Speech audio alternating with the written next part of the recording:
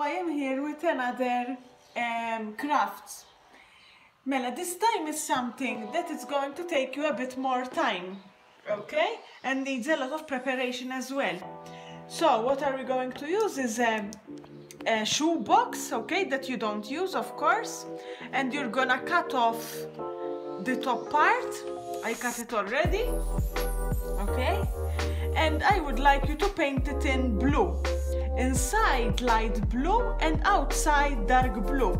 I only paint, painted the sides, okay? And the back I left it white because it's not gonna show.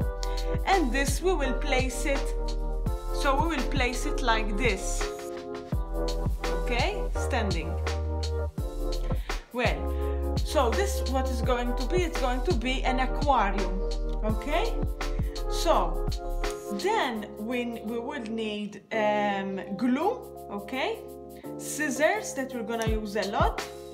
We need some string, okay, that can you can you can part into pieces, okay? We're gonna use green paper. I didn't have green paper, so I, I painted it. I painted half dark green, half um, light green. This is a paper bag, okay, part of a paper bag which I cut into pieces. You have some which are like small rectangles and one big rectangle. This is the bottom of the box, okay, it's here. So basically you place the box standing on top of the bag, you draw a line and then you cut it and it fits perfectly. Okay? And that will go inside here.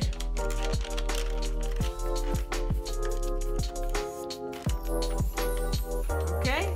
I still need some okay? So you have the the view of the water the sea and this is the ground. It looks like sand okay? Then I will glue it. And I'm gonna use um, some of my recycled paper which I have referred to it before. These are tea boxes okay? And cereal boxes.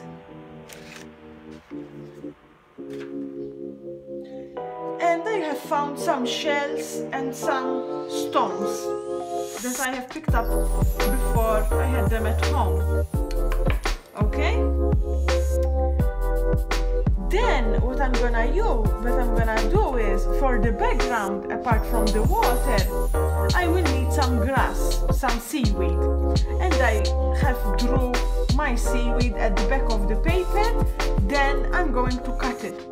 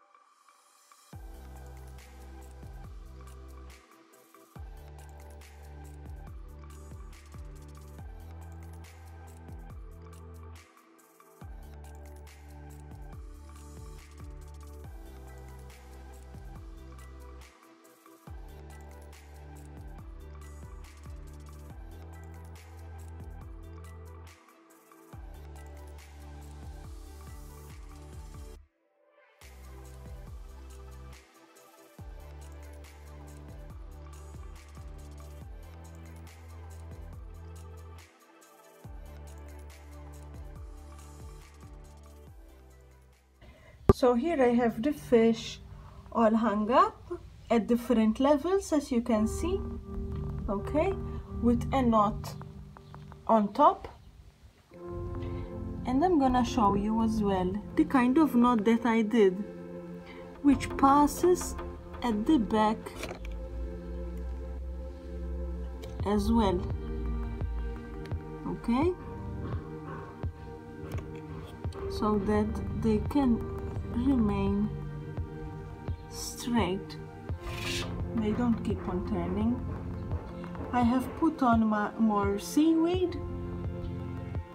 I have put some real pebbles that I got.